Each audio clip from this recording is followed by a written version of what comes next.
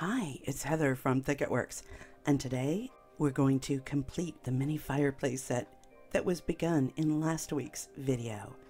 Several additional pieces have been added like these andirons, this fireplace screen, and a gothic stand to hold all of the tools. We've also added a little broom because, well, you just have to have one, and the finishes on the existing tools have been updated. If you didn't catch part one of this two part series, there's a link in the description. All of these pieces have been cut on the Cricut Maker using Astrobrights Eclipse Black 65 pound cardstock. I love this stuff. You get the cleanest cuts ever. Okay, so here are the new pieces that have been added to the bundle a top shelf and a base, a back panel, and support for the stand. Then we have the andirons, which consist of a standing front piece, two overlay pieces to hide all the construction, and the irons themselves, which extend toward the back of the fireplace and support the logs. Next is the fire screen, and it consists of these panels. And finally, the little broom, which consists of overlays over the internal construction layers. These little frames didn't make it into the final cut, so you can ignore those. If you've been following my Cricut Maker miniature videos for some time, then you're very familiar with this next process. What I'm doing is using Zig two-way glue to laminate eight layers of cardstock, one on top of the other. And this fine tipped pair of tweezers is my very best friend because it helps me to align all of the little details so that by the time we get to the end of the process and we have all eight layers, we still have a beautifully crisp silhouette. The final two layers are overlays that will conceal the central construction slot and give it a finished appearance from the front while leaving that handy little slot in the rear so that we can build three-dimensional pieces from these. Repeat this process so that you have two of these andiron pieces, each consisting of eight layers and two overlays. And now it's time to laminate the portion of the andiron that extends toward the rear of the fireplace. Again, eight layers of cardstock, one atop the other, everything aligned to the best of your ability. And at this point, we begin the hardening process, and that's done with a water-thin superglue. Once the pieces are hardened, the construction can begin. The tabs on one end of the andiron fit neatly into the slots on the back of the front of the andiron. A drop of superglue holds everything firmly in place. Next, it's time to begin constructing the stand for all of the little fireplace tools. I'm beginning by laminating together the eight layers of cardstock that make up the base of this stand. Using the tips of the tweezers to maintain alignment for all of the construction slots is crucial to getting a good result. Once the laminating is complete, it's time to harden the base using super glue and an old gift card. Just apply the super glue to the surface and smooth it in using the gift card. I work on a Teflon sheet to make it possible to easily peel the piece off of the surface once the hardening is complete. When the base has been completed, it's time to begin working on the upper shelf. And again, keeping the slots carefully aligned is crucial to the success of the final piece. I'm using Zig two-way adhesive to laminate all eight layers of cardstock together.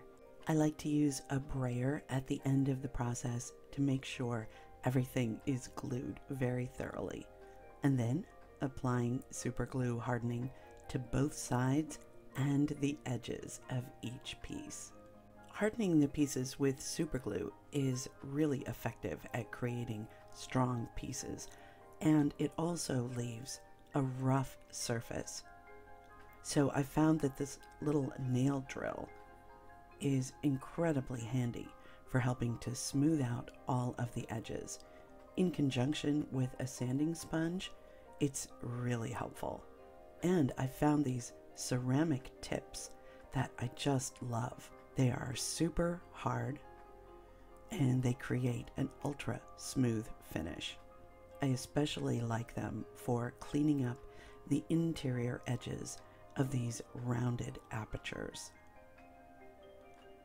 Okay, now it's time to put together the back of the tool stand. And this time, rather than using Zig two-way glue, I'm reaching for some Gem-Tac because it's so liquid and is easy to paint on with a brush. Because we have both a large area and intricate cutouts here, for me it was the best solution for creating the laminated layers.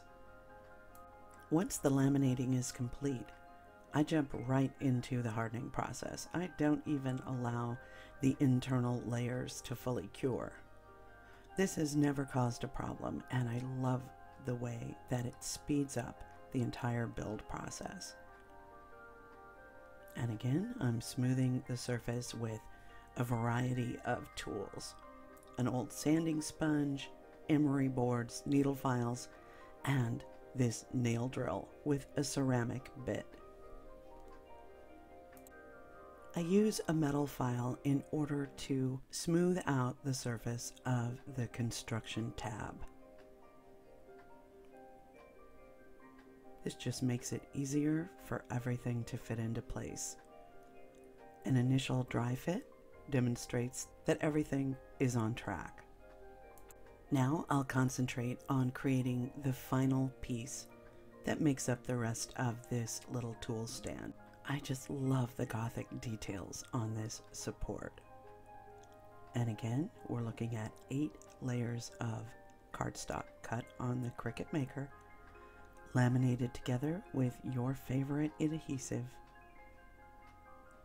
and finally hardened with superglue and smoothed with a variety of sanding tools.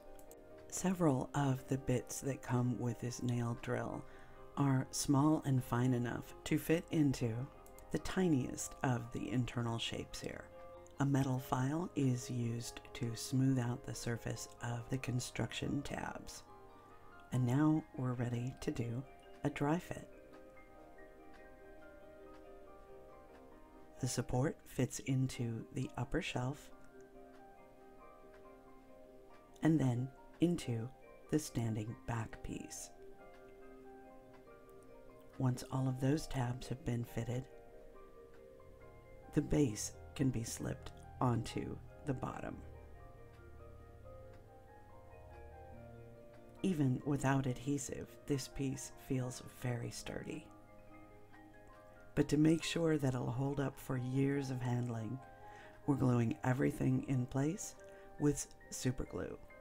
And then to cover our crimes, we're going to put a final overlay over the back that covers all of the construction tabs and slots. Once this is glued in place and firmly pressed down, Another layer of superglue is applied to the exterior and smoothed in using an old gift card.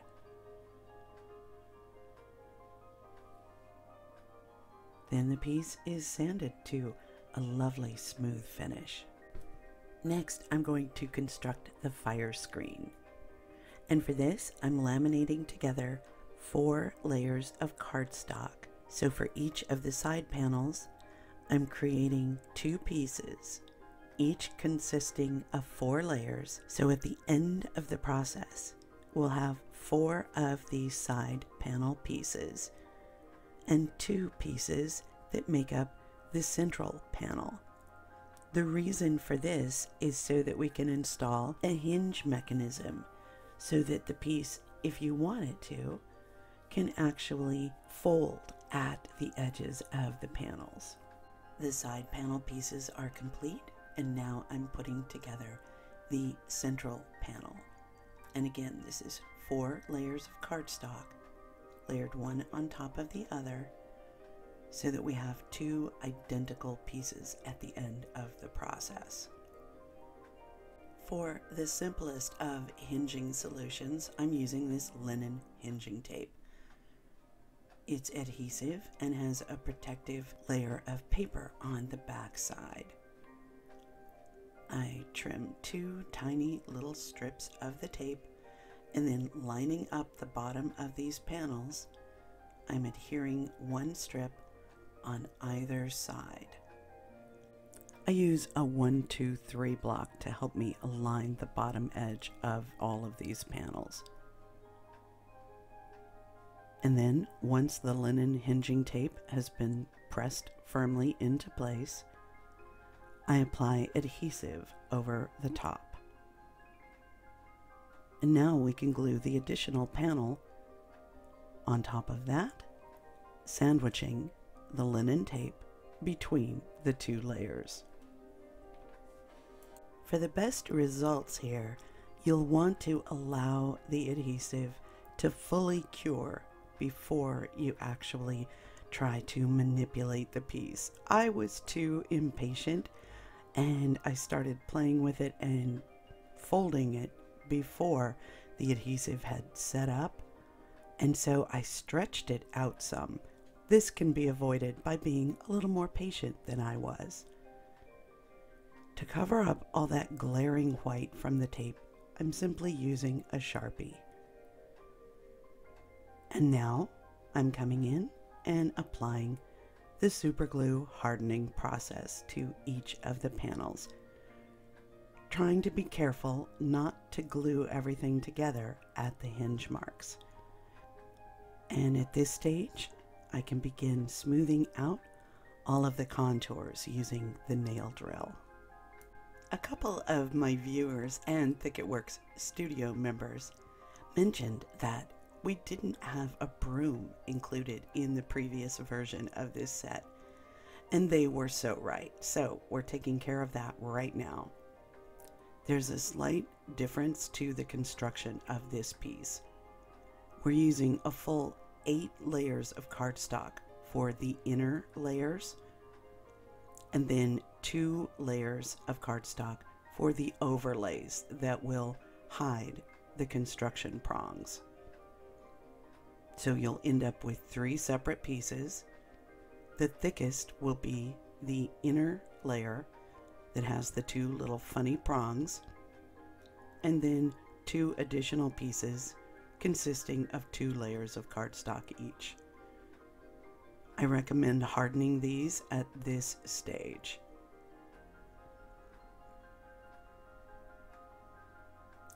Now, my solution for the bristles for the little broom was to use a single layer of craft foam. I mark out the width of the piece and cut it to size so that it will fit between the two prongs. And then I add a whole series of tiny little vertical cuts on either side of the piece of foam.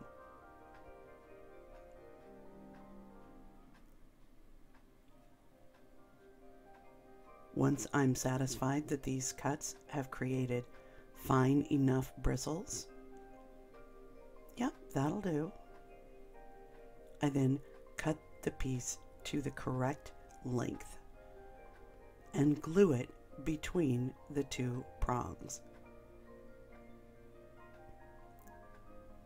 Once that is complete, we can now place the overlay panels on either side, and that will cover up all of the messy construction in the center, leaving a nice finished little broom.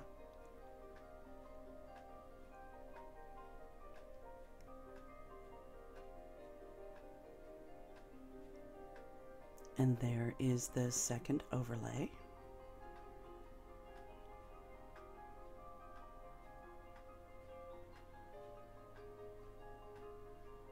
Great. I just think that's so cute. Now I'm going to harden the exterior of the entire piece in preparation for shaping the handle and smoothing out all of the edges. The sanding drum attachment for the nail drill does a great job of helping me to create the kinds of soft curves that I find so appealing. It's completely optional, but if you'd like to, you can add another piece of craft foam onto the bottom of the base. This will give the piece a little more visual weight and of course cushion it wherever you choose to place it. The whole time I was designing and building these fireplace tools, I envisioned some kind of gold accents. And I decided to work with Dr. Ph. Martin's calligraphy gold ink. I love this stuff. It has such a mellow color to it, and it's so easy to work with. It dries incredibly quickly, and it bonds just fine to the surface, even after it's been hardened with super glue. I'm just hmm. using a little flat bristled brush to add accents at all of the areas on the handles that have detail and along the front of the little shovel. I'm also adding gold to both sides of the broom and the andirons and of course the fire screen. Now this is a pretty look but it wouldn't be complete for me if it weren't distressed. So I just grab an old emery board and file away at the surface until it has the amount of aging that pleases my eye. This is probably the most satisfying part of the entire process for me. It seems to somehow bring the pieces to life in a way that I really can't articulate, but that matters to me.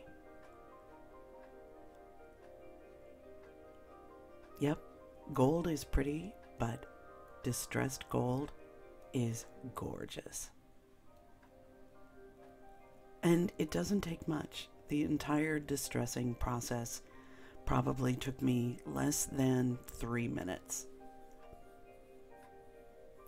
If you like, once you've completed distressing all of the gold, you can apply a spray sealer just to protect that beautiful finish that you've created. And so another layer of history is added to the abandoned boudoir diorama project. Every week, my appreciation for the Cricut Maker and the creative possibilities that it opens up for us increases. I'm astonished at the level of detail that we can capture using this incredible machine. As always, thank you so much for hanging out with me today.